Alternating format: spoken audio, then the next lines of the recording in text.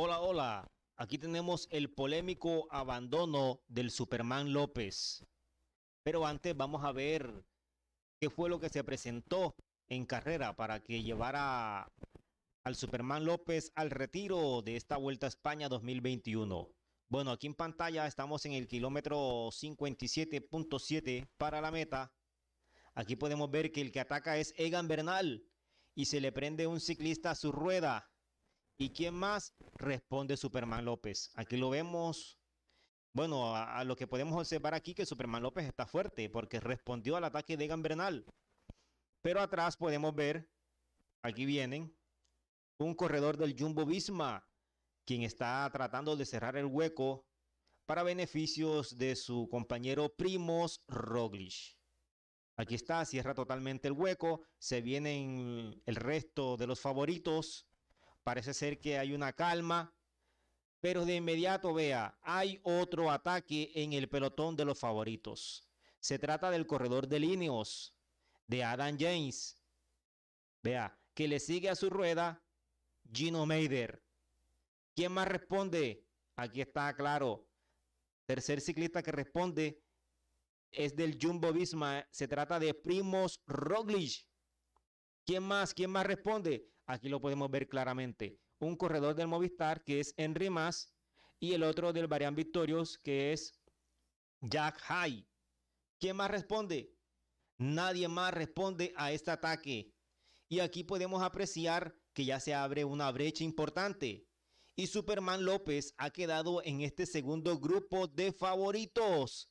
Además de Miguel Ángel López, aquí lo vemos a su rueda Egan Bernal, que también en esta etapa, en esta jornada, la etapa 20, ha perdido la camiseta del mejor joven. Aquí está.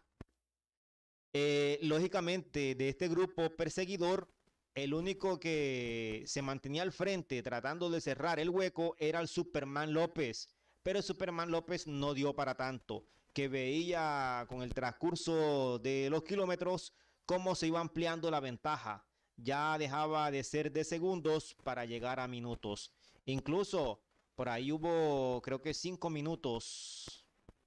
Y aquí, si, por si fuera poco, aquí vea, se produce un ataque de un corredor del Varian Victorious, del grupito que iba en punta, ya para coger nueva vía y además picaba para arriba. Lógicamente estos ciclistas aquí iban a imprimir más velocidad e iban a meterle más tiempo a Superman López. Y aquí tenemos las imágenes, vea. Superman López se baja de la bicicleta, abandona la vuelta a España, lo vemos aquí hablando por teléfono, por celular, y se embarca en el carro de Movistar. ¿Qué opinas tú de esta situación? ¿Qué opinas tú de este ciclista? ¿Fue profesional lo que hizo de retirarse de la vuelta a España al ver que perdía su lugar en el podio y que con el transcurso de los kilómetros iba perdiendo más minutos y más minutos.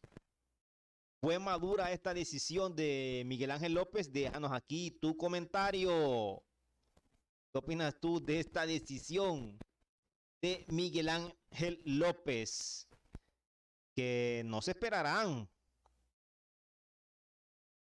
más que comentarios negativos por parte de la prensa española por esta decisión que ha tomado Miguel Ángel López de retirarse de la Vuelta a España al ver que perdía su lugar en el podio. Así que tú también puedes participar y deja tu opinión aquí en los comentarios.